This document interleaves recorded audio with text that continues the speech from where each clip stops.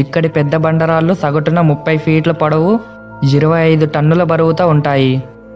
ఈ ప్రాంతం నుంచి ఇరవై మైళ్ళ దూరంలో ఉన్న మార్ల్బోరాక్ డౌన్స్ నుంచి ఆ పెద్ద బండరాలను మోసుకొచ్చి పేర్చి ఉంటారని కొందరు హిస్టోరియన్ల అభిప్రాయం.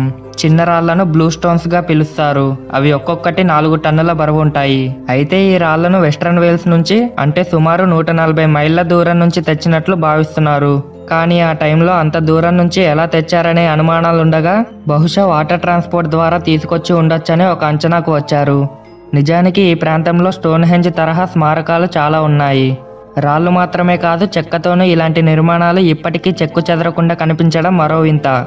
అయితే స్టోన్ హెంజ్ నిర్మాణం కంటే ముందే ఈ ప్రాంతాన్ని ప్రజలు పవిత్రంగా భావించే వాళ్ళని ఆర్కియాలజిస్టులు భావిస్తున్నారు. అందుకు కారణం ఈ ప్రాంతంలో మెటాలిక్ చెక్క ముక్కలతో గంటలాంటి నిర్మాణాలు దొరకటం.